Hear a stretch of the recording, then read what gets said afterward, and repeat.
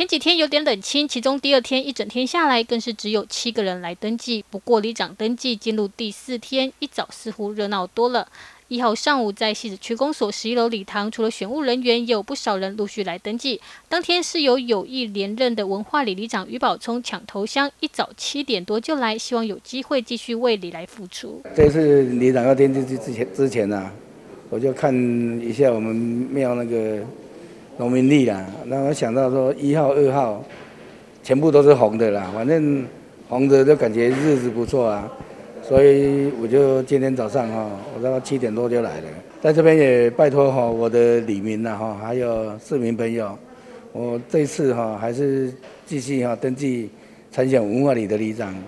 也希望哈大家哈多给我支持起来。只要是有日子就是好日子哈，那因为我们选连任，那几个里长他们就我们都讲好了，就是今天来报名这样子。那我是要选第七届哈，那我希望我的连任继续为里民服务。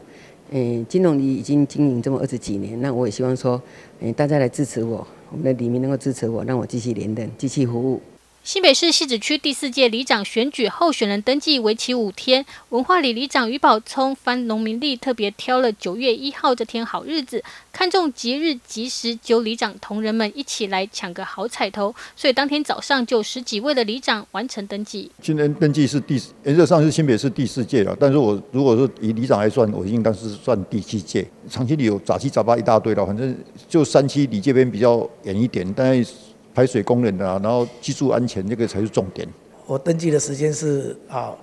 看好是九点到十一点。那今天非常高兴哦，有五位我们厚德里的职工哦陪同我来登记。因为五五位哈，是因为我今年哦啊迈向第五届，所以说希望能够五连霸哦，继续为李明来努力，为李明来争取更多的福利哈，让厚德里哈成为一个哈非常优质的一个社区。接下来哈还是有更多的哦。继续为我们乡亲来服务，希望各位乡亲能给予这个机会，继续为我们厚德里来努力。现任里长陈友亮力拼五连霸，当天带了五位志工一起陪同登记，有个好彩头。西子区五十个里，目前几乎每一个里都有人登记。登记作业进入第四天，已经大约有七十个人完成登记。这是慧林西子采访报道。